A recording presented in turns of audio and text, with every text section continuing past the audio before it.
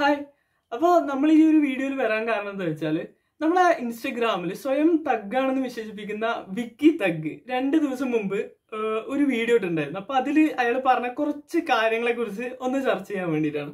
അത് എന്താണെന്ന് വെച്ചാൽ അറിയത്തില്ല എനിക്ക് തോന്നുന്നു നമ്മളുടെ മുമ്പുള്ള ജനറേഷൻ പിന്നെ ഒരു പത്ത് മുപ്പത് മുപ്പത്തഞ്ച് വയസ്സുള്ള ഇപ്പോൾ ഉള്ള ആൾക്കാർ അവരും കൂടെ കഴിഞ്ഞാൽ നമ്മളുടെ ആ ഒരു ജനറേഷനും കൂടെ കഴിഞ്ഞാൽ പുതിയ തലമുറ ഒരിക്കലും രാഷ്ട്രീയത്തിന്റെ പുറയിലോ മറ്റു കാര്യങ്ങളോ അവരെല്ലാം ചില്ല് പവർ ആ ഒരു കോൺസെപ്റ്റിലേക്ക് കൊണ്ടുവരാനാണ് നമ്മൾ നോക്കുന്നത് അപ്പൊ ഈ ഒരു വീഡിയോയിൽ ജാതിയും മതവും പോലെ തന്നെ രാഷ്ട്രീയവും അടുത്തുള്ള അടുത്ത തലമുറ പുതിയ തലമുറ കൊണ്ട് നടക്കരുത് എന്നാണ് വിക്കി പറയുന്നത്.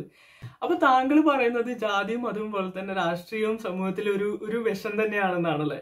സത്യം പറഞ്ഞാൽ രാഷ്ട്രീയ ബോധം ഉണ്ടാവുന്നത് അതല്ലെങ്കിൽ രാഷ്ട്രീയം ഇല്ല എന്ന് പറയുന്നത് ഒരു വലിയൊരു ക്വാളിറ്റി ആയിട്ട് കരുതുന്ന കുറച്ച് നിഷ്കളങ്കരായിട്ടുള്ള ആൾക്കാർ അവരാണ് ശരിക്കും ഈ പറഞ്ഞ ഈ ഒരു video mass B J M ഇട്ടിട്ട് ഏറ്റെടുത്തിരിക്കുന്നത് ഇപ്പോൾ രാഷ്ട്രീയം എന്ന് പറഞ്ഞ രാഷ്ട്രീയം എന്ന് പറഞ്ഞാൽ ഏതെങ്കിലും ഒരു പാർട്ടിയോടുള്ള അമിതമായിട്ടുള്ള ഭ്രാന്ത് ഈ അടി പിടി അക്രമം ഇതൊക്കെയാണ് രാഷ്ട്രീയം എന്ന് വിശ്വസിച്ചിരിക്കുന്നവരാണ് ഇവരൊക്കെ. വ്യക്തമായിട്ടുള്ള ഒരു രാഷ്ട്രീയ നിലപാട് ഉണ്ടാവേണ്ടത് ഓരോ പൗരന്റെയും ഒരു ആവശ്യം തന്നെയാണ്.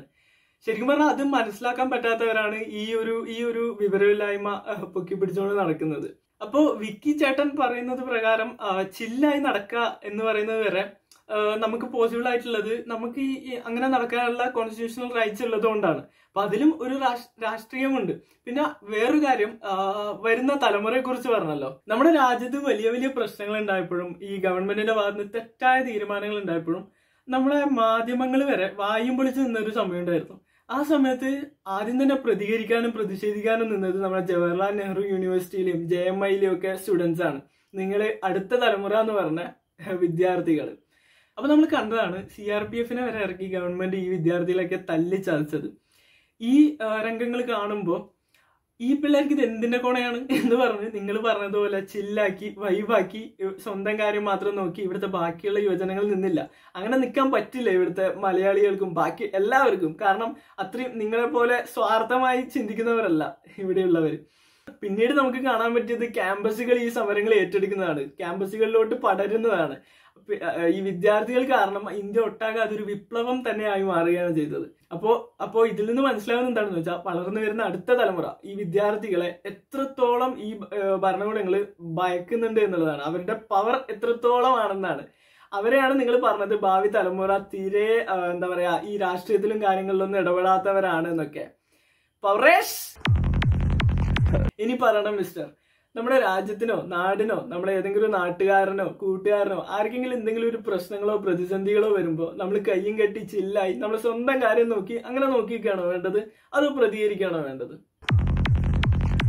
ശരിക്കും ശരിക്കും ഈ പാർട്ടി ഭ്രാന്തും തല്ലും പിടിയും ഇതൊക്കെയാണോ രാഷ്ട്രീയം? സൗഹൃദം ഒരു രാഷ്ട്രീയമാണ്. മനുഷ്യത്വം ഒരു രാഷ്ട്രീയമാണ്. മറ്റുള്ള ഒരാൾക്ക് ഒരു പ്രശ്നം വരുമ്പോൾ നമ്മുടെ മനസ്സിലൊരു വിഷമം ഉണ്ടാകുന്നുണ്ടെങ്കിൽ അതും ഒരു രാഷ്ട്രീയമാണ്. അപ്പൊ ഈ പറയുന്ന നിങ്ങൾക്കും ഒരു രാഷ്ട്രീയം ഉണ്ട് എന്നുള്ളത് സോഷ്യൽ മീഡിയ വഴി അറിയാൻ സാധിച്ചു. അപ്പൊ നിങ്ങൾ പ്രവർത്തിച്ച ആ ഒരു പാർട്ടി നിങ്ങളെ പഠിപ്പിച്ചത് ഇത്ര മോശമായ കാര്യങ്ങളാണെങ്കിൽ എനിക്ക് അതിലൊന്നും പറയാനില്ല. പറയാം. അപ്പൊ ഈ അപ്പൊ ഈ ഒരു വീഡിയോ ഒരിക്കലും നമ്മുടെ വിഘ്നേഷ് ഏട്ടനെ വ്യക്തിപരമായിട്ട് എതിർത്തുകൊണ്ടുള്ള ഒരു വീഡിയോ അല്ല. എതിർക്കുന്നത് ആശയങ്ങളെയാണ്. അതാണ് എന്റെ രാഷ്ട്രീയം എന്നെ പഠിപ്പിച്ചിട്ടുള്ളത്. അപ്പൊ എല്ലാവർക്കും അവരവരുടെ അഭിപ്രായങ്ങളും മറ്റും പ്രകടിപ്പിക്കാനുള്ള പൂർണ സ്വാതന്ത്ര്യമുണ്ട് ഇവിടെ. അപ്പോൾ നിങ്ങൾ നിങ്ങളുടെ അഭിപ്രായങ്ങൾ കമന്റ് ബോക്സ് വഴി അറിയിക്കാം ഈ ഒരു വീഡിയോ ഞാൻ പറഞ്ഞ കാര്യങ്ങളിൽ എന്തെങ്കിലും ഒരു കഴമ്പ് ഉണ്ട് എന്ന് തോന്നുകയാണെങ്കിൽ വീഡിയോ നിങ്ങൾ മറ്റുള്ളവർക്കും കൂടി ഷെയർ ചെയ്ത് കൊടുക്കുക ലൈക്ക് ചെയ്യുക. അപ്പൊ thank you for watching bye അപ്പം വിക്കി ചേട്ടൻ പറഞ്ഞതിൽ എനിക്ക് ഒരൊറ്റ കാര്യത്തിനോട് മാത്രമേ യോജിപ്പുള്ളൂ. അതെന്താണെന്ന് കേൾപ്പിച്ചുതരാം. കാരണം എനിക്കാണെങ്കിൽ വലിയ വിദ്യാഭ്യാസം കാര്യങ്ങളൊന്നുമില്ല. പഠിച്ചൊന്നും നേടാൻ ഉദ്ദേശിച്ചിട്ടില്ല. നൂറ് ശതമാനം ഞാൻ യോജിക്കുന്നു. ഒരു പണിക്കും പോകാൻ പറ്റില്ല.